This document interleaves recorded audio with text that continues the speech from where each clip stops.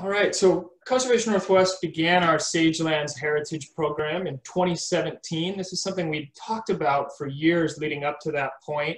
And as we looked at the landscape of southern British Columbia and Washington, there was a lot of work being done in the North Cascades by us and other groups, a lot of work being done in southern BC's Coast Range and inland temperate rainforests, great groups on the Washington coast and really across the state.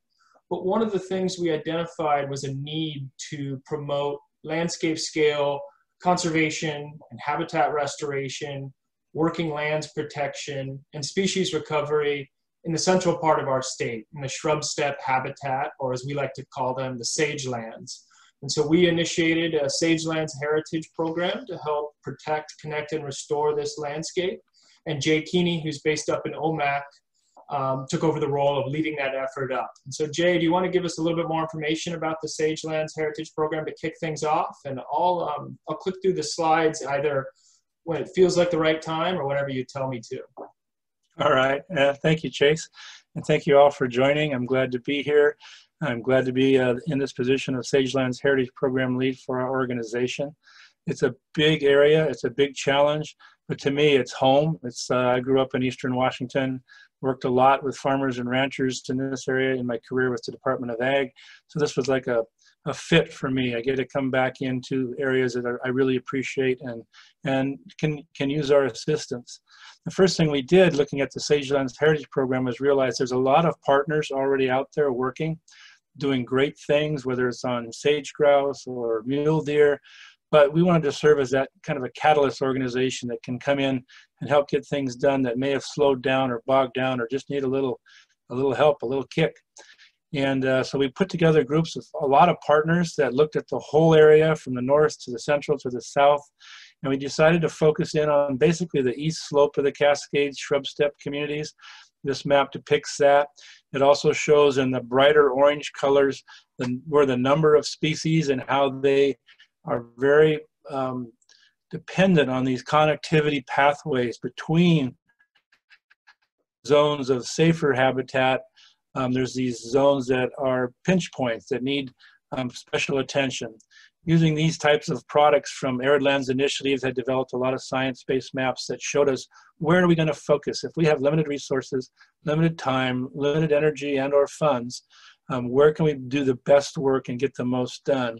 And we felt, looking at this map, there was about seven areas or, or connectivity zones that we could focus in on and, and put more effort into it and see which ones played out as the best place to use our time and energy.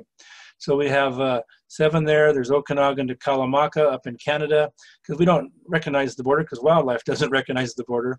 Well, we recognize it, but we, we uh, work up the north if we need to.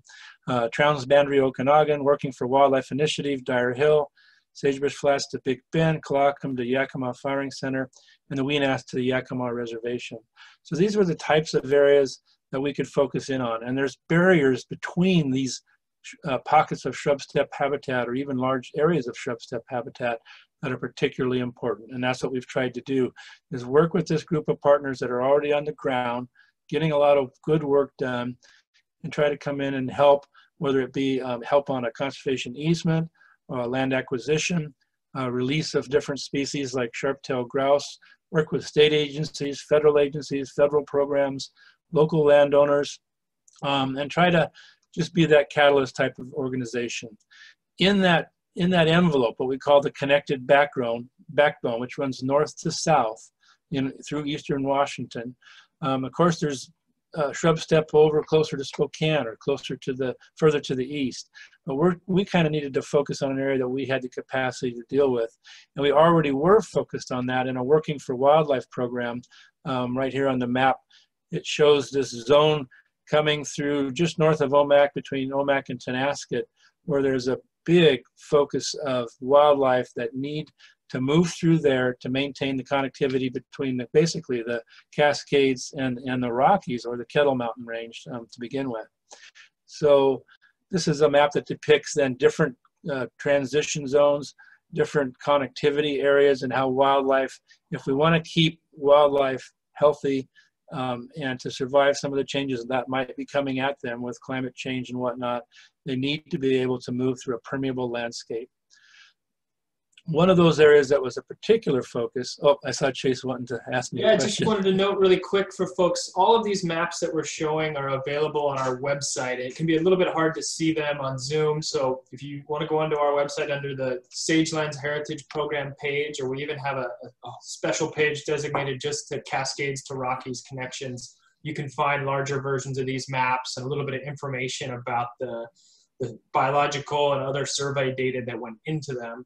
Um, that's available there. And then if you have any questions, just a reminder, please go ahead and put those in the chat or into the Zoom question and answer box. And I'm monitoring that as well as some of our other staff, and we'll be happy to answer your questions as best we can. So sorry to interrupt, Jay, go for it. Oh, no problem. Um, what I'm going to talk about now on the map is that arrow that goes from like Winthrop north of Riverside on the on the left hand side over towards Colville, and that area is the focus of the Working for Wildlife uh, initiative that we've been working on for several years, working with a lot of great people, conservation districts, uh, land trusts, and we're really just trying to increase the capacity of all those organizations um, to, to keep this working, uh, working landscape um, possible with the wildlife needs and permeability in place. Um, as part of that project, we saw right away that there's going to be these are some of the species that are um, in in uh, the area. We also saw that there's a tremendous amount of of wildlife and primarily deer along safe or along Highway 97 between uh, Riverside and Tonasket. So we initiated a Safe Passage 97 project with our partners Mule Deer Foundation. Um, there has been so many people have helped on this to make it happen, and we're going to talk more about that a little later. Um, I think we have some time set aside just for that talk, but this is just to kind of show you how the Safe Passage 97 project is really um, part of, and as a, in a bigger scheme of things, the Sagelands Heritage Program. It's just one of the very important crossing zones that occurs in the Sagelands Heritage Project area. Great. Jay, do you want me to go into the video now, or would you like to talk a little bit more about the connected backbone as a whole or some of the other projects you're working on? I can talk just real quickly on the connected backbone, other projects. So some of the things that you're looking at when trying to keep connectivity available for, for these species, there's pygmy rabbit, sharp-tailed grouse, sage grouse, deer, badgers, mule deer, uh, you know, then uh, uh, some of the predators, uh, bobcats and, and, coyotes. But to keep it all um, available for them, you've got to be looking at ways to protect that habitat. That can be protected from development. So that's where your easements, your um, acquisitions might come into play. You can protect it from fire. We've been working on projects to try to help have a better attack on initial fire responses to prevent huge mega fires.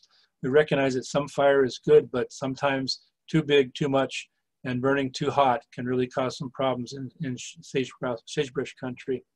Um, you can protect it in terms of the, the land and obstacles that animals might find in the way as they try to get from one area to another. And that can be roads. So we have projects that are decommissioning or closing unnecessary roads um, in some of the forested areas, um, as well as that lead into sagebrush country. And then we have projects that take out other barriers, such as barbed wire fences that aren't in use anymore. That can be a huge detriment to flying species such as sharp-tailed grouse or sage grouse. And I can't tell you how many deer um, I've seen hung up in barbed wire fences as they try to cross and get their back legs hot, caught in them. So we try to have different volunteer groups or even contracts that go out to remove some of these derelict barbed wire fences. There's other other projects we're working on to improve the amount of wetlands in the in the uh, arid land region, building small structures that help uh, store more water and create more wet meadows and wetland areas. Thank you, Jay, and thanks to everyone else that just joined us. Looks like a bunch of folks have hopped on since we got started. We're talking about Conservation Northwest Sagelands Heritage Program in Central Washington State, and we're going to talk a little bit more now about the Safe Passage 97 project, which is one component of the Sagelands program. It's something that our organization and partners have identified as a, a critical need going all the way back to around 2013 and even before that as a, a key connectivity zone in the Okanagan Valley where you had mule deer and other species getting hit and killed on Highway 97. And it really was a, critical spot in the Cascades to Rockies corridor, in the connected backbone that you just saw a a map of that area running north to south, east of the Cascades. This was a major pinch point, and given the amount of wildlife loss that was occurring on the highway, the risks to motorist safety, we wanted to do something about it. And unfortunately, after several years of advocacy, the state legislature in Olympia, despite local support, had not allocated funding for the Safe Passage 97 project. WashDOT was on board, our State Department of Transportation. We had support from the Colville tribes and local legislators, Okanogan County commissioners. Jay was, was really leading the charge along with some of his allies at the Mule Deer Foundation. But despite all that support, the legislature wasn't providing money for the project, and we decided to see what we could do to kickstart it using private funds. Before I share a video about a, a pretty big milestone for that first private phase, Jay, is there anything else you want to add about the Safe Passage 97 project? Uh, you did a great job of explaining it, Chase. I just would like to add that um, the importance of this project was it, it brought a lot of community people together. It brought a lot of organizations into a focus on one area um, that we could do something, even though we weren't able to get the big dollars to move ahead with big underpasses and, and lots of miles of fencing. We knew we had enough money to get something done, so that's what we, we did, and you'll see in the video. Um, this is a list of just some of the people that needed to come together to make this happen. Our state senator, Shelly Short, Jacqueline Maycumber, Representative Joel Kretz, all three county commissioners. We used a lot of local businesses to help get the work done. Um, it was the, the Colville Confederated Tribe was just amazing in how fast they helped us get through the cultural resource process so that we could proceed with this project um, and, and help improve some of the, uh, the, the stop some of the basically the, the deaths that were occurring with vehicle accidents and deer. So in one 12 mile stretch, 350 deer a year get killed right now. As of this day, with the completion of this project, we hope to lower that by anywhere from 80 to 100 deer per year. So this was an amazing thing that we were able to get done. I can't thank all the people and partners that helped make it happen enough. All right, so we're going to share just a quick three minute video about this first phase of the Safe Passage 97 project. After that, we'll talk a little bit more about what might be coming next as far as efforts to secure public funding for the rest of this project in the Okanagan Valley, which includes wildlife undercrossings, fencing, and other infrastructure to protect both people and wildlife. And then I see some great questions coming in on the chat about beavers and some of the, wildlife areas in the central part of the sage lands and volunteering, and we'll get to those at the end as well. So just bear with me here while we switch over to the video.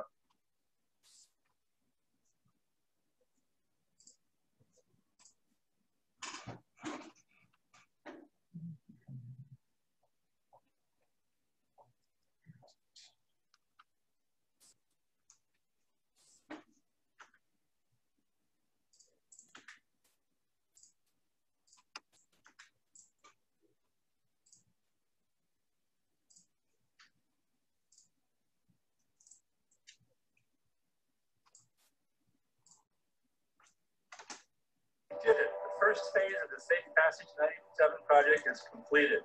Deer fence, cattle guards, and underpass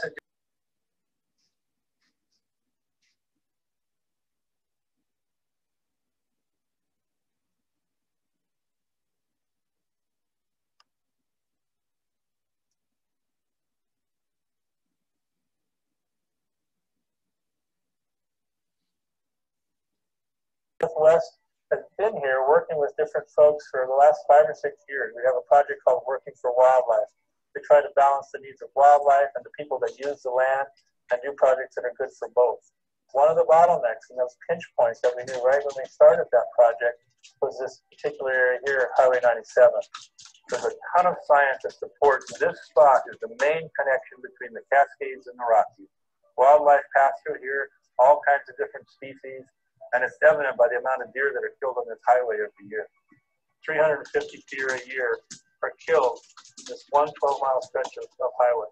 Living in this area, most people that I know have hit a deer on this highway. It's just famous for people having vehicle accidents. Each deer that's killed on this highway times $7,000. That's the value they put on that deer loss and the accident and the insurance and the hospital bills and the state patrol showing up putting about $2 million down the hole every year not doing this. if it's going to take a few million dollars to fix it, it's worth it. Just this side of Janis Bridge, and I see this deer jump up in the middle of the road out of the orchard.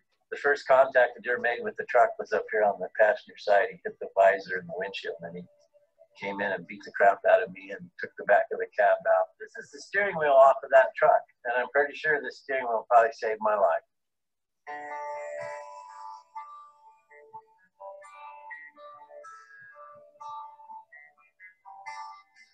What we got done this summer was put in all these coats for a mile, and we had three tenths of fence built, funneling deer towards Janis Bridge. Then we made improvements at Janis Bridge in the distance there so deer could pass under it. So as soon as we put the fence in and improved the underpass, we started seeing animals come under the bridge. We've seen cougar, we've seen countless numbers of deer, does, bucks, coyotes, bobcats, a skunk, a couple of old tomcats, and they continually use this all night long, all day long, in the morning, in the evening. They're going back and forth from food sources and water sources. It's amazing how many animals are already using what we've built here. So to be standing here today and seeing how this is working, the fence, the underpass, it's just a testament to all the people that gave to this project. Over 570 donors from Conservation Northwest, five Mule Deer Foundation chapters from around the state, all giving their dollar to make sure this could happen. There's a huge amount of partners that were involved. Department of Transportation has been great to work with, Department of Wildlife, and the Colville Confederated Tribes were amazing to support this project and enable us to get it on the ground in a timely manner. A whole host of people made this happen, and we've got to give you all a lot of thanks.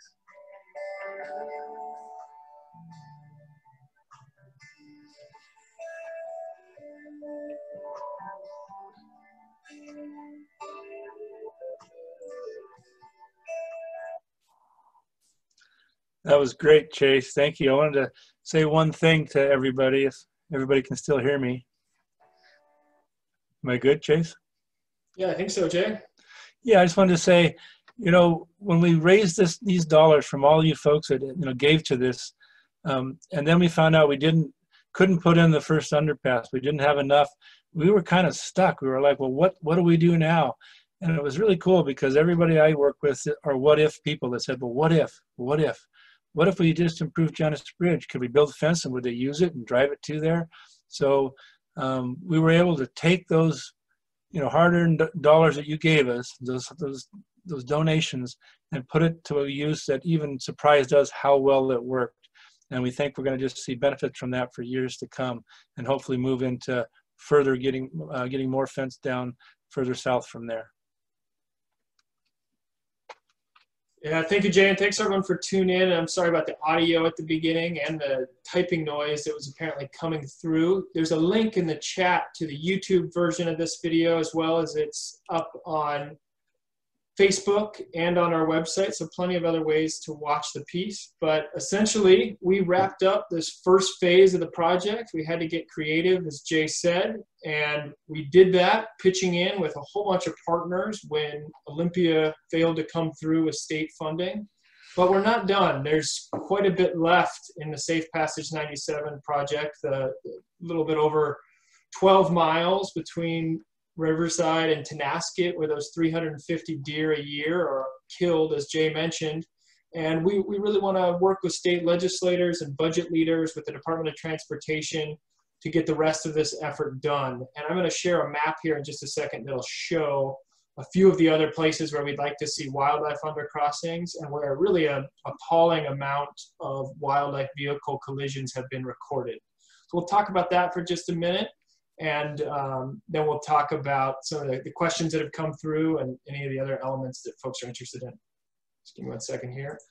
I would point out too that deer tend to be the ones that you notice the most, or elk when they get hit on a highway. But you know, this permeable landscape and underpasses, under highways protects all kinds of wildlife, and you saw that in the amount of uh, wildlife that was using Janis Bridge, from turkeys to skunks to badgers to uh, raccoons and you know all kinds of different wildlife. So this map shows the full extent of the Safe Passage 97 project. As I mentioned, it's about 12.9 miles or just under 13 miles from Riverside to to Tonasket in the Okanagan Valley. The focus of work up to this point through this first private phase has been from the Janis Bridge and a mile south, and that's what you saw in the video.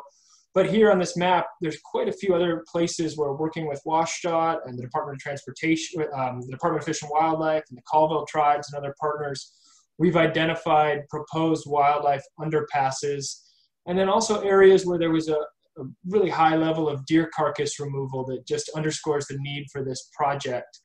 Jay, one question that we got is um, wanting to know a little bit more about the the costs for these the rest of this project, the underpasses and the fencing, and why um, you know wh- why the, every every piece of it is important. Could you share a little bit more about what we have scoped out for the rest of this project?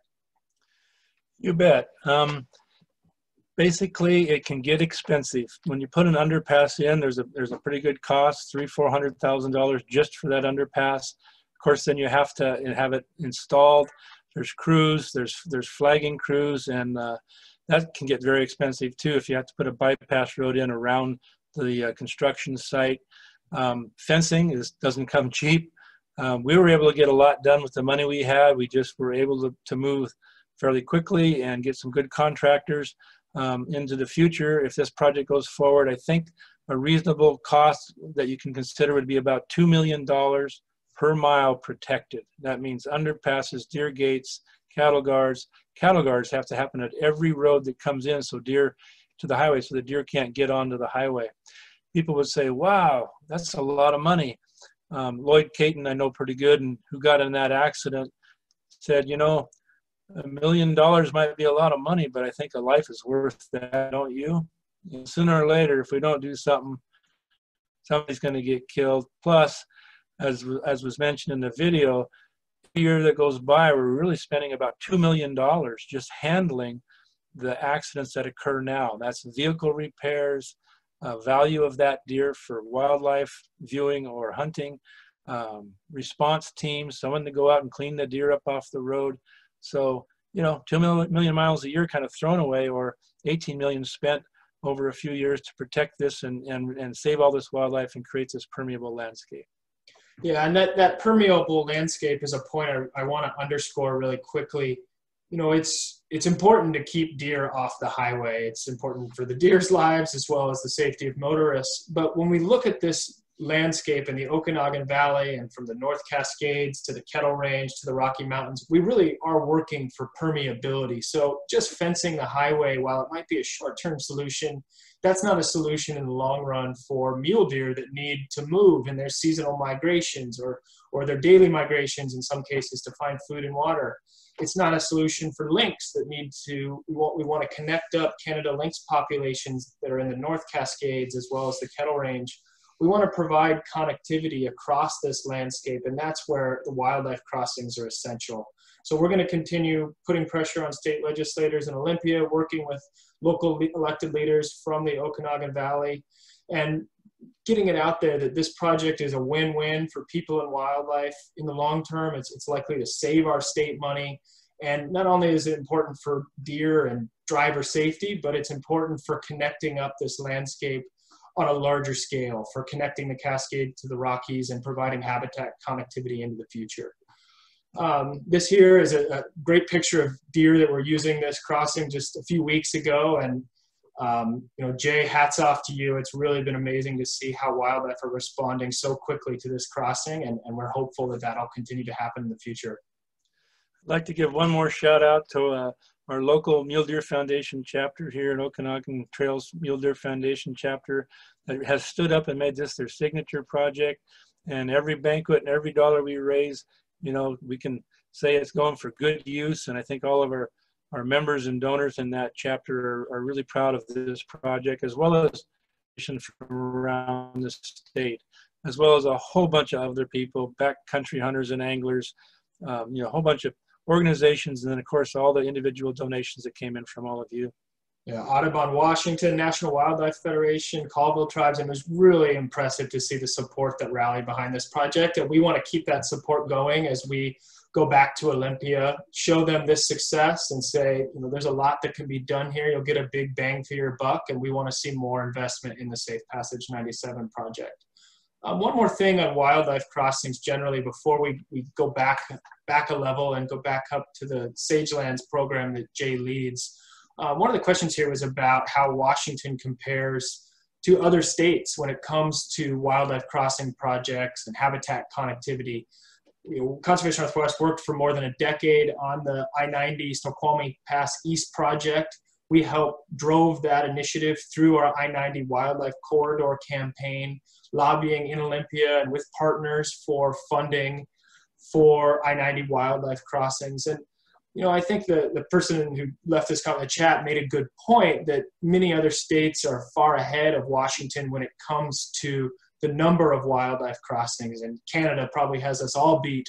But when you look at the way that Washington's wildlife crossings have been designed, it's not as a single crossing, but as ecosystem connectivity or connectivity at a landscape scale. On I 90, we have well over two dozen crossings of various sizes. One large wildlife overcrossing that's been completed and another that's in the works.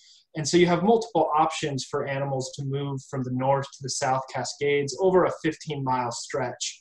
And that's very similar to what we're proposing here in the Okanagan Valley. We know there's a problem with wildlife collisions. We don't just want to see this one crossing at Janis Bridge, as exciting as it is to see deer like these three using it. We want to see landscape scale connections that protect drivers and connect up these ecosystems across the valley from the North Cascades to the Kettle Range and beyond. And so in that sense, you know, we might be behind other states as far as the number of wildlife crossings, but the scale and science behind our crossings is something that's really impressive and something that we at Conservation Northwest, along with our partners, want to keep driving forward. I'd add one more thing, Chase, and that is that we may not have as many, but we've dealt with so many more situations and problems to get the ones we have. We have so many more people in places that we need crossings than any other state. And I've traveled through Montana and Idaho and British Columbia, Utah, and seen a lot of great crossing work that is doing great work. But there's very few landowners out along those highways. I'd say, you know, a third to a half of the time it took to get these in place has been working with the tremendous amount of people that exist along the right of way as well as the partners needed to get the job done. So, you know, I'm one of the things I'm real proud of is the, the relationships we've formed with a lot of the landowners who this will benefit as well. And if you think about every driveway that comes off of, off a main highway has to have a cattle guard. That's a bunch of discussions that go on um, that you don't necessarily have to do in a place like Wyoming or Montana where it's pretty much open range.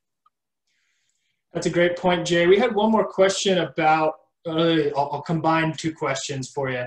One was what sort of monitoring and ongoing analysis is happening at the Janis Bridge site and in the first phase of the Safe Passage 97 project um, to help inform decision makers, project leaders, and partners about how well it's working. And then the second part of the question is how can folks get involved? Is there any volunteering that's planned? Um, the first question, of course, cameras are the ultimate tool to measure your success. Um, we're showing about 2,000 pictures of animals crossing under um, Janis Bridge every month. Now, some of these are the same animals coming and going at different days or whatnot. But that's a tremendous amount of use um, that is being documented, you know, each day that these cameras are being operated. Um, other data that will come in will be the roadkill data. So the carcass removal data, Department of Transportation sends crews out to remove uh, dead animals along the road and they track those and we have that data. So it shouldn't be too long before we have enough data to show, you know, pre-fencing, pre-underpass, post, let's see what's happening and, and how good we're doing. Um, some of the other information um, would also come through the uh, uh, where you can pick up uh, roadkill now. So that information is pinned on a map that's added into that data to show where deer are getting hit or not hit. So we'll have several ways to look at you know, and measure our success on this project. Um, next month, there's going to be a, a, meeting up on the Methow Highway um, to look at that and some of the areas that are being uh, considered for possible solutions as what we did here. So there's a lot of research going on on that particular highway. Thank you, Jay. We're going to talk a little bit more about the Sagelands Heritage Program as a whole at the end, and we'll try to answer a few more questions. But now I want to turn it over to Matthew Brower just to say a few words about this project and his work on it. Matthew's our development director here at Conservation Northwest, and um, a whole lot of folks pitched in to make this happen. So, Matthew, I'm going to turn it over to you. Okay, wonderful. Sure. This is the point in the evening where if you have a glass and you have a beverage, you should raise it We'll imagine all of you out there together uh, doing a toast like back in the good old days when we could all gather together, uh, which we'd certainly be doing in a, in a normal year. Um, so yeah, you know, many people have already been thanked by, by Chase and, and Jay, and you've seen the slide that this was a huge effort by, by so many partners. I'll just take a, a moment to kind of summarize uh, the scope of that. Um, as was referenced in the video, uh, Jay saying over 570 uh, donors total to the project. And I actually think we were probably over 600 some um, in, in, actuality, and over $180,000 uh, in total that made this happen.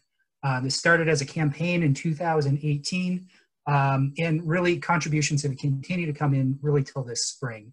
Uh, people hearing about the project, people seeing the progress updates and wanting to pitch in a little more uh, to see it through to the end.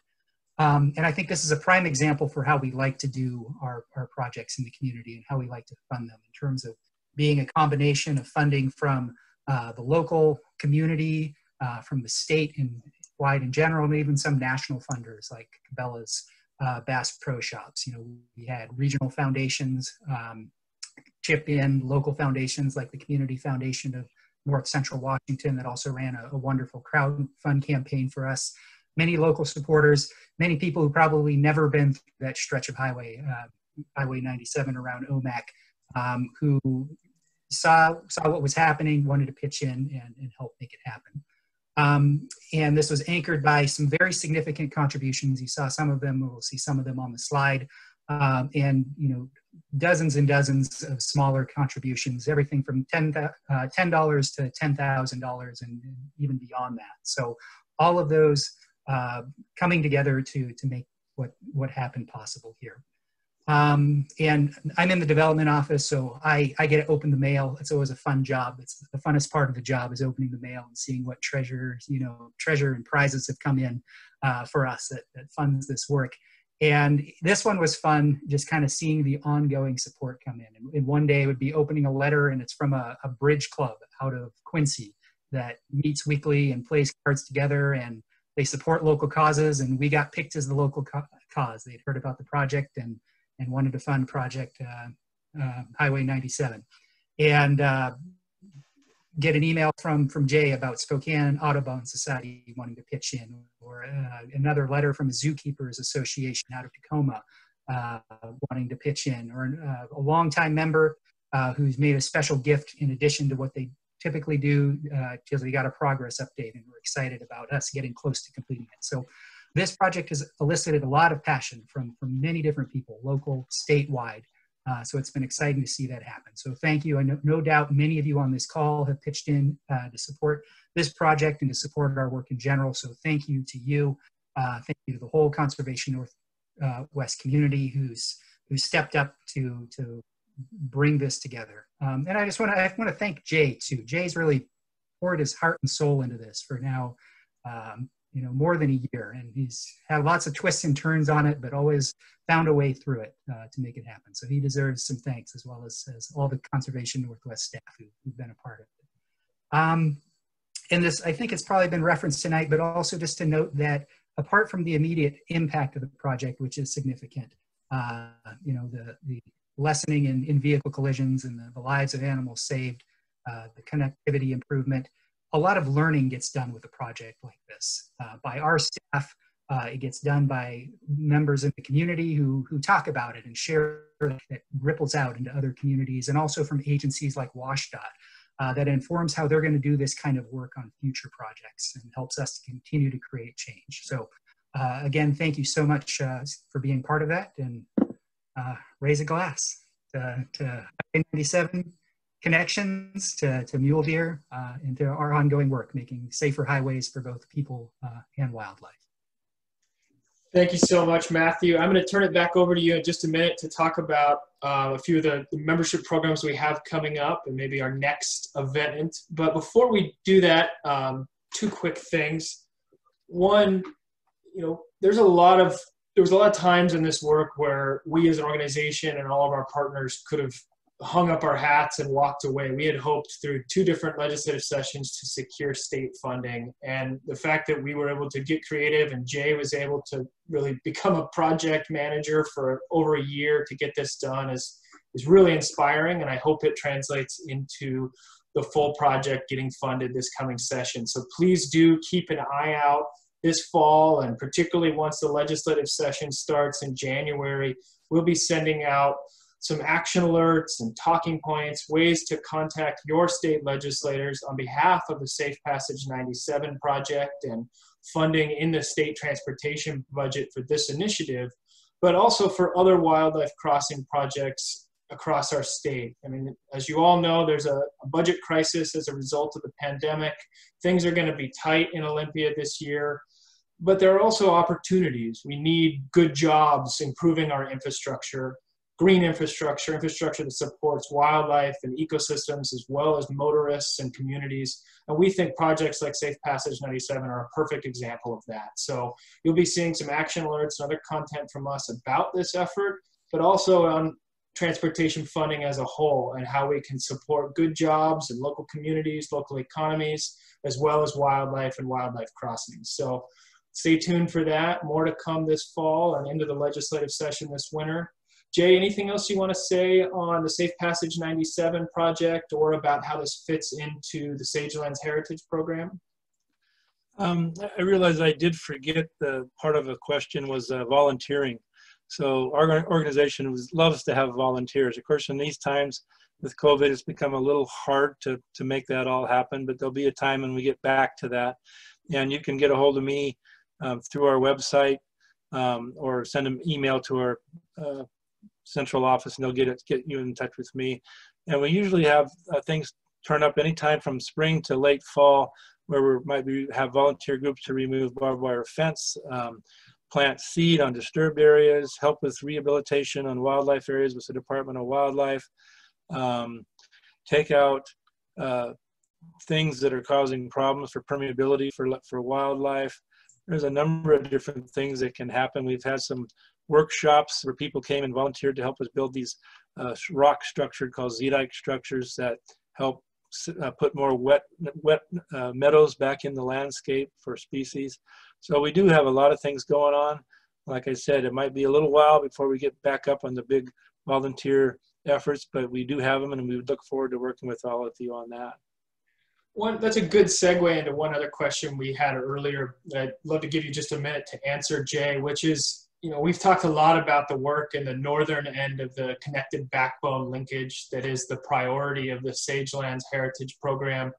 But there's also a lot going on in the, the central part of that linkage around Ellensburg and Yakima and some of the state wildlife areas like the Colockum and Wenas.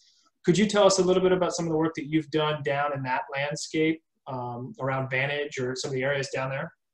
Yeah. Um, couple different things and there's that's kind of a big area for road uh, decommissioning or closures roads have such an impact especially in some of our wildlife areas that we we look for those opportunities and try to jump on those and help where we can either with dollars or volunteers or program assistance um, uh, we've been really working to try to help create a, uh, rangelands protection districts that could help with the initial attack on fires because fires that can occur for instance, coming off the Yakima Training Center can be, you know, mega fires and, and cause quite a bit of damage. So we're looking at ways to help um, with suppress some of those big mega fires from the start.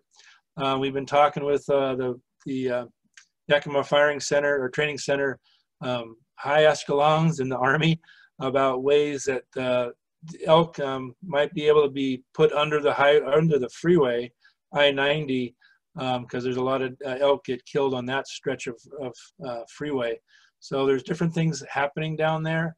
Um, and I wanted to mention real quick too, up north in Canada, while we don't have a huge presence up there, we have been really um, help, helping and being a part of the process to help create the uh, South Okanagan, Okanagan Similkameen National Park Network has worked on this, the Sage, or excuse me, the uh, Grasslands uh, Park Reserve. It's a national park up in Canada. And that's been moving along for about 15 years and it, it's really looking positive now that that would be a huge core area of sage lands and shrub steppe habitat that we would be tying into um, coming from the south. Thank you, Jay. And I, um, I think I mentioned this earlier, but we're saying again, we have versions of all these maps and many of the photos, some of the science that went into the connectivity maps that we shared, and a whole bunch more information on our website under the Sagelands Heritage Program webpage.